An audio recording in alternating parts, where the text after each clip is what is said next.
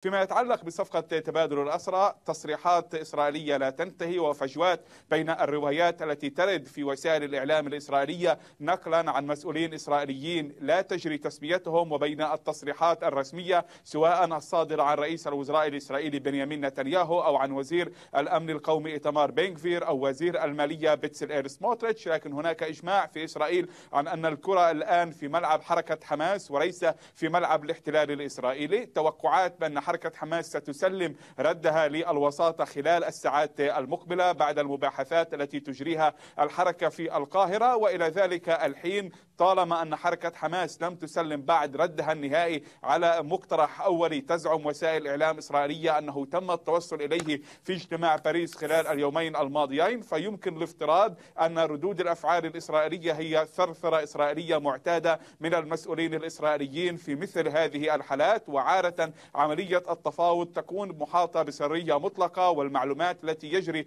تداولها لا يحاط بها وزراء الكابينت الأمني والسياسي الإسرائيلي بشكل دوري بشكل فوري مثل وزراء أعضاء مجلس الحرب الإسرائيلي. فكل ما ينقل عن هؤلاء الوزراء ليس بالضرورة مصدره جهات رسمية أو تقديرات إسرائيلية رسمية إنما يكون قد نقل إليهم عن طريق أطراف ثالثة والتصريحات التي نشهدها سواء لبنكفير أو لبتسر إير سموتريتش هي للضغط على رئيس الوزراء الإسرائيلي بنيامين نتنياهو. من التصريحات الإسرائيلية يبدو أن إسرائيل تستعد لإعطاء حركة حماس الكثير باستثناء الأمر الأساسي الذي تطلبه حركة حماس وباقي الفصائل الفلسطينية وهو وقف الحرب الإسرائيلية على قطاع غزة. وطالما أن الاحتلال الإسرائيلي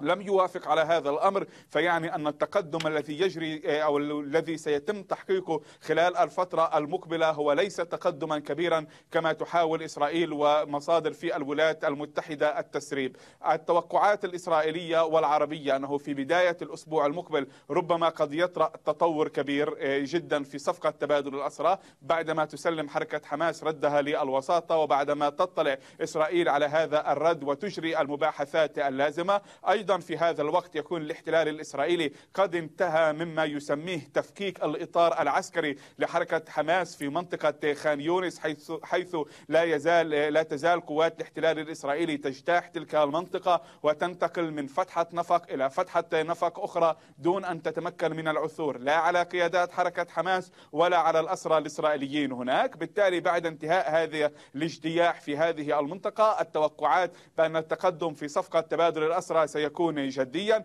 ومن غير الواضح حتى الآن إن كان الاحتلال الإسرائيلي سيعطي التزامات لن يعلن عنها بخصوص وقف الحرب على قطاع غزة. هناك من الصحفيين الإسرائيليين تحديدا في صحيفة دعوت أحرنوت من يرجح أن الاحتلال الإسرائيلي قد يتعهد للوساطات وقد يعطي ضمانات للوساطات للوسطاء بعدم شن حرب على قطاع غزة لكنه لن يعلن عن ذلك الأمر علنا. وسيصر في الخطابات العلنية على أن أي رد من قبل حركة حماس في قطاع غزة سيقابل بحرب إسرائيلية بينما سيتم التوصل إلى اتفاق من تحت الطاولة أو إعطاء ضمانات إسرائيلية للوسطات بعدم شن حرب على قطاع غزة. لا تزال الصورة غير واضحة في إسرائيل.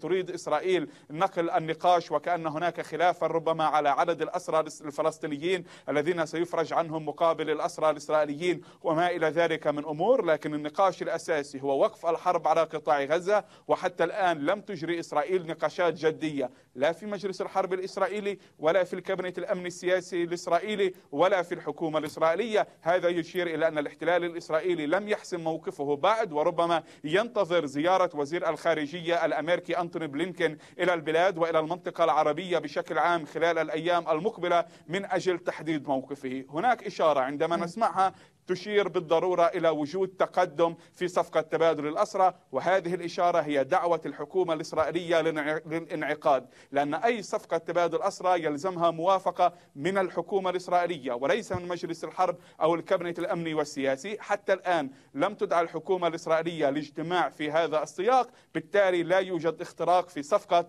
تبادل الأسرى برغم ما يجري الحديث عنه في وسائل الإعلام سواء الإسرائيلية أو حتى وسائل الإعلام الدولية. وعد. شكرا جزيلا لك مراسلنا في